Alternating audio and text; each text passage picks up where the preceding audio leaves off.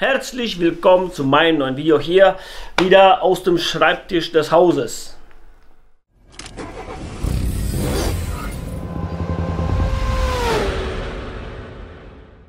Ja, meine Lieblings, mein Lieblingsarbeitsplatz. Äh, na, stimmt nicht. Ich mag hier nicht zu sitzen. Nicht so wirklich. Manchmal muss ich, aber die Betonung äh, ist auf muss ich.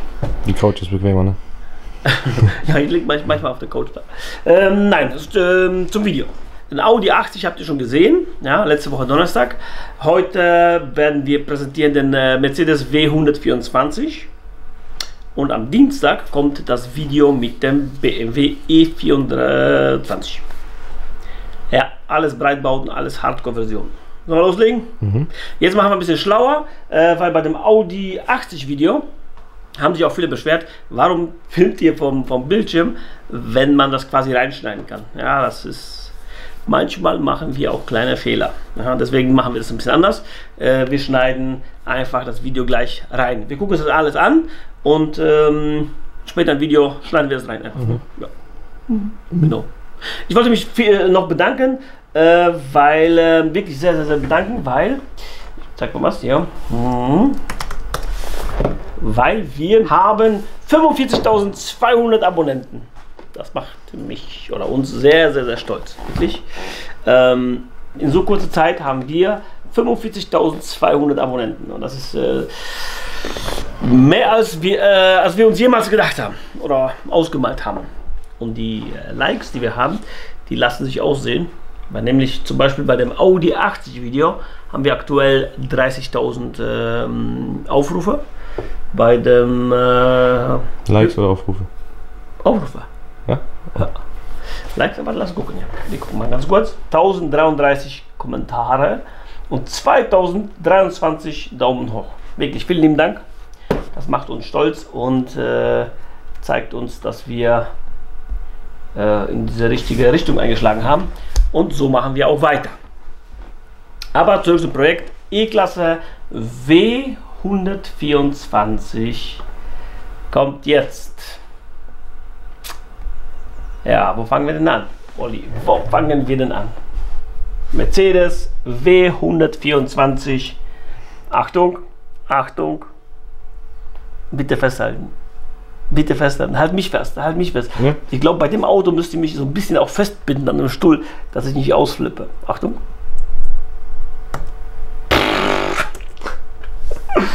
Ah, Mama mia. Das ist krass. Stell dir vor, der Belzec fährt hier durch, durch komplett von mir so ein Apparat. So, da geht es schon weiter. Komm ein bisschen näher. Ja, du nicht, nur mit der Kamera. Ja, kann man Hast du es gut drauf? Mhm. Ja, schau mal. Das kann man hier, ob wir so eine Verbreiterung machen oder so ein riesen Seitenteil zum Beispiel. Ne? Ja, guck mal. Das macht schon sehr viel aus. Ja? Aber wir sehen das vielleicht gleich von einem anderen äh, Winkel und das sieht ein bisschen besser aus, glaube ich. Kann man besser, also nicht besser aus, sondern äh, kann man besser sehen. Ja? So, da gehen wir direkt zum Heck über. Achtung! bitte nicht erschrecken. Achtung. Patsch. Ich weiß, wir sind bekloppt. Du bist doch nicht normal! Also gleiches, gleiches Auto, nur mit ein bisschen Design von uns. Ein bisschen ist gut. Achtung. Tschack. Was ist passiert? Passend zu dem Frontkotflügel, ja, ob wir die so rund machen. Ja. Oder kann ich so machen? Siehst du besser, mhm. Olli? Ja. So sieht man besser? So sieht besser. Okay. Ja, ich kann da, ich kann da ein bisschen zu dir. Ja, ob wir so, das Original, so oder so. Also ich finde das sehr, sehr, sehr hardcore, die Version. Ja? Also das ist so meins. Auspuff in der Mitte, Auspuff links, Auspuff rechts, kann man immer noch äh, ein bisschen gucken. Ja. Ähm, ja. Kommt darauf an, für welches Projekt wir uns entscheiden. Äh, dann machen wir die endgültige äh, Version.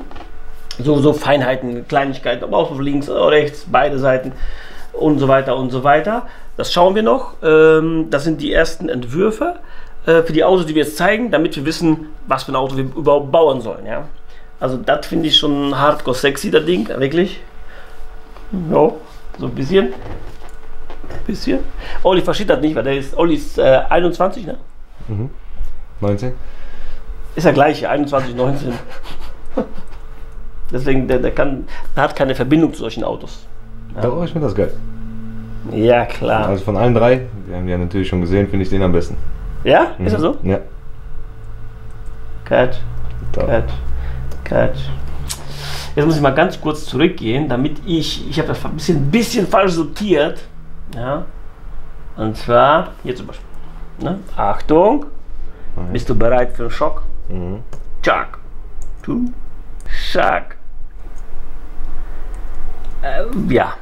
Also Leute, das ist so mein Geschmack. Ja? Einfach nur fett, breit. Ja? das ist so mein Geschmack. So geht auch. Das habe ich im Internet gefunden. So, das war die. Eigentlich äh, bin ich auf den Trichter gekommen, den 124er zu bauen, weil ich habe das Bild eigentlich im Internet gesehen. Ja, guck mal. Dann habe ich gesagt, okay, sieht gut aus. Also Basis. Ja. Bei, bei uns ist alles nur Basis. Mal jetzt. Achtung.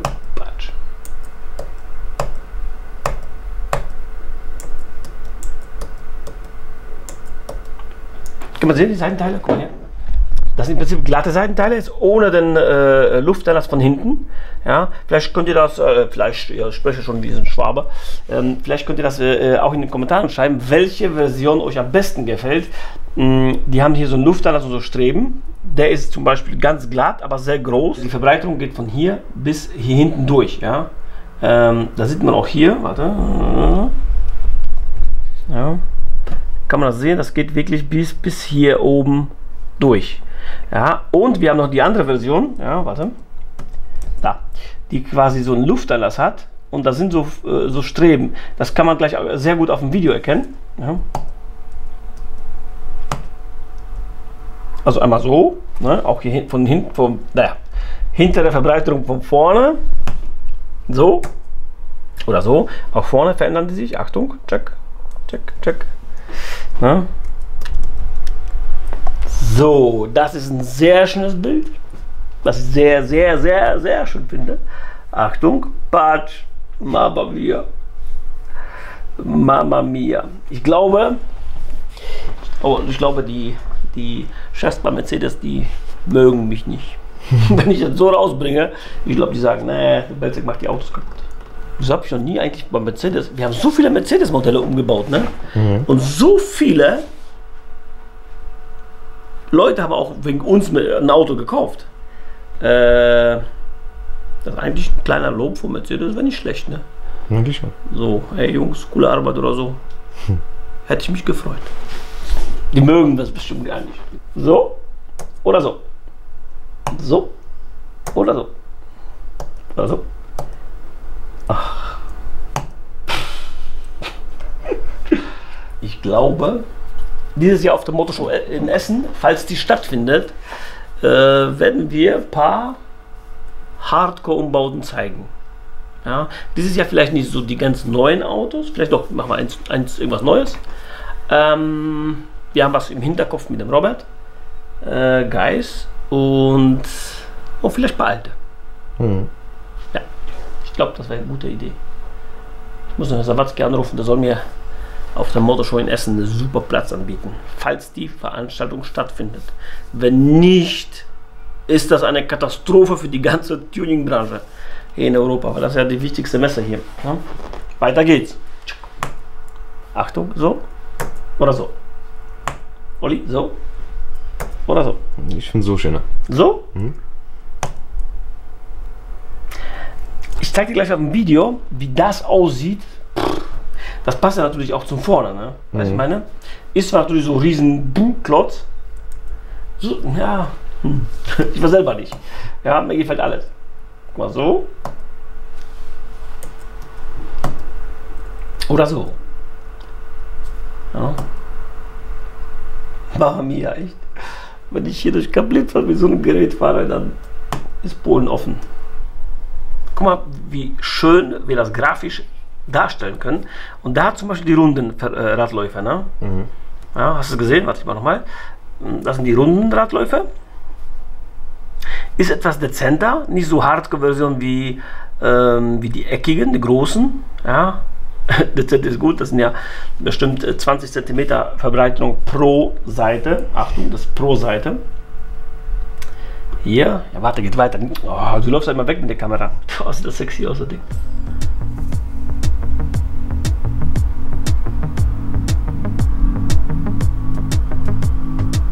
Und der hat die eckigen.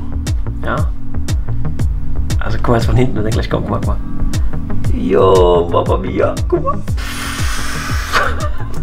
oh, Ah, jetzt ist mal schlecht. Guck mal hier vorne. Ja, krass hier.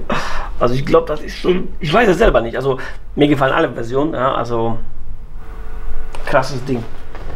Krasses Ding. Also ja, also ich glaube, von der, von, vom Preis sind die alle Fahrzeuge gleich. Die kosten um die 10.000 Euro in super Zustand. Super nicht, aber guten Zustand. Kriegt man äh, E24 BMW, äh, W124 Mercedes und den Audi 80 auch. Ja, wenn, dann gucken wir, dass wir eine gute Basis finden, äh, dass wir nicht viel an der Technik machen müssen oder was weiß ich an der Karosserie, dass sie schon komplett durchgenudelt ist. Ich bin selber ähm, gespannt, äh, auf welches Auto wir uns äh, einigen, ja, so wie es aussieht, wenn wir alle Projekte durchziehen. Ich glaube, das wird die Frage sein, welches zuerst. Komm, wir zeigen ein bisschen, ein bisschen äh, näher hier. Ja. Schau mal, die, die, die Verbreiterung kann man sehen äh, auf, dem, auf, dem, Video. Die Verbreiterung geht hier, hier so schön, um die Stoßstange quasi herum. Ja, und dann kommen diese Cupwings.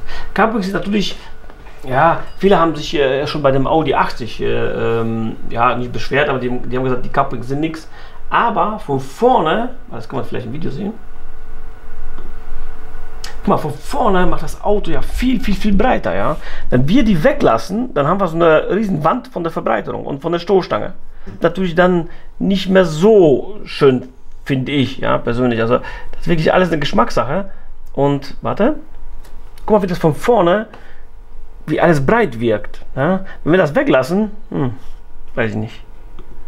An den Türen machen wir nichts. Im Prinzip, weil viele auch bei dem Audi gesagt haben, macht doch irgendwie eine Verbreiterung auch auf Tür und so weiter. Dann würde das Auto wie so ein LKW so zu klobig äh, wirken. Ja? Schau mal. Kann man es vergrößern? Nee. Also wie gesagt, am, am liebsten würde ich alle Autos bauen, ja, die wir euch hier zeigen und präsentieren.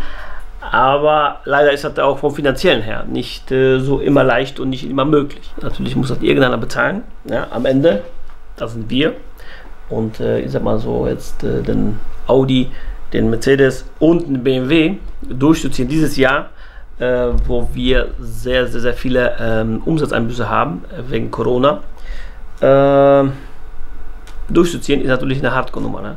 Also das ist äh, finanziell ich hoffe, dass sich bald das alles bessert, ja, aber zurzeit ist das finanziell natürlich nicht machbar, ja, weil die Werkzeuge, wenn wir hier die, die Werkzeuge fräsen, alles mit Haube, Frontstoßstange, Frontspoiler, Carpwings, das sind so viele Kleinteile, ne?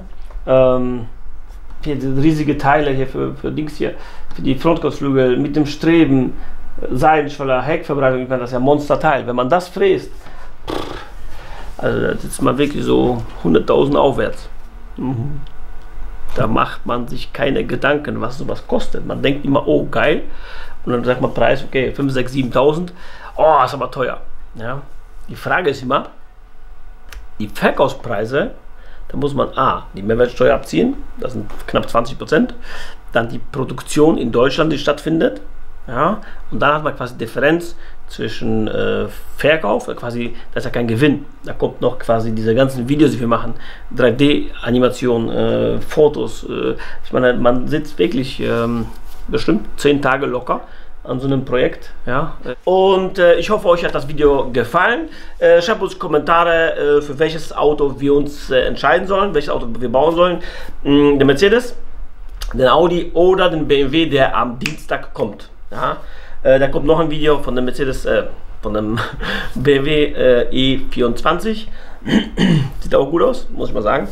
Und ja, ich bin gespannt, was und wie wir bauen werden. Ja? Auf dem Audi 80 haben wir so viel positive Resonanz bekommen, äh, dass wir das so oder so, glaube ich, dieses Jahr für die Essener Motorshow bauen werden. Ähm, ich glaube schon. Weil das, ich habe mich so ein bisschen in dem Auto verliebt, ja. Wenn ich ehrlich sein soll. Gut, ich habe mich auch in dem Mercedes verliebt. und in der BMW. Ich glaube, ich verliebe mich in jedem Auto, was wir bauen. Äh, ja, das war's hier aus Komplett Vielen Dank fürs Zuschauen. Äh, bis dahin. Ciao.